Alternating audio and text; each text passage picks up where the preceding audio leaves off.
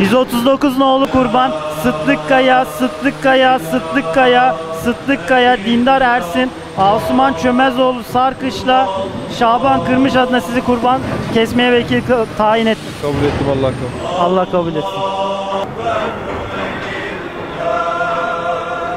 Bismillah, Allahu Ekber.